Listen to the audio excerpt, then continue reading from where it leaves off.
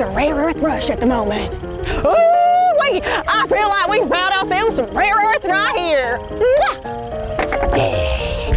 Yep, rare earths are what everyone's talking about. Australia's rare earth minerals deal. Rare earths. Rare earths. Rare earths. Rare earths. Rare earth materials. They're in everything from smartphones to fighter jets, so we need them.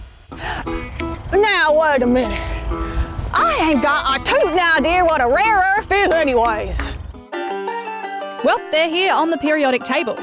They're a group of 17 heavy metals, like europium, neodymium, gadolinium, and cerium.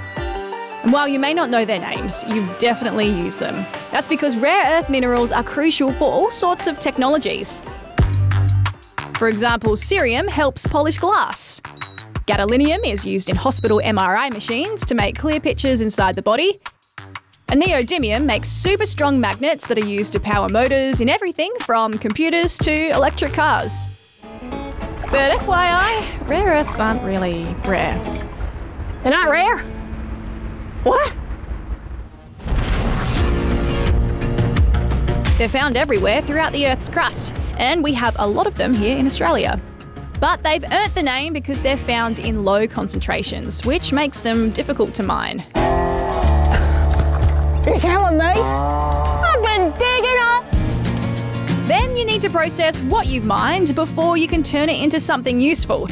That's also difficult. And it takes a lot of chemicals and can produce some pretty toxic waste.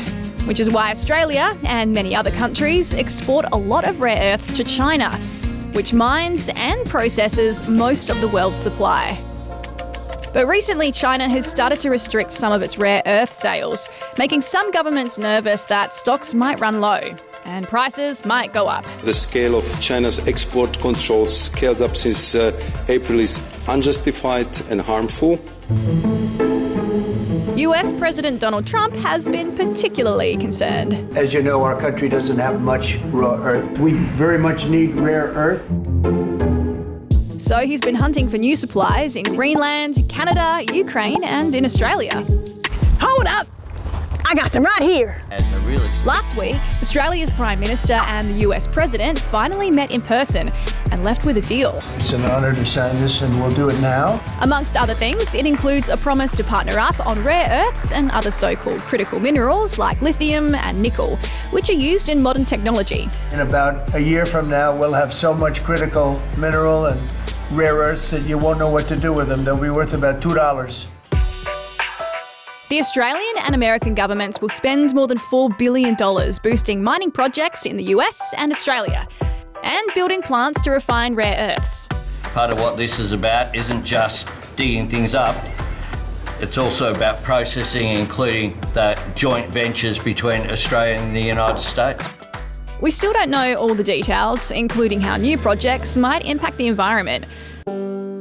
But many are hoping this boom will bring a boost to Australia's economy. Like my grandmammy used to say, it's a fortune digging up dirt.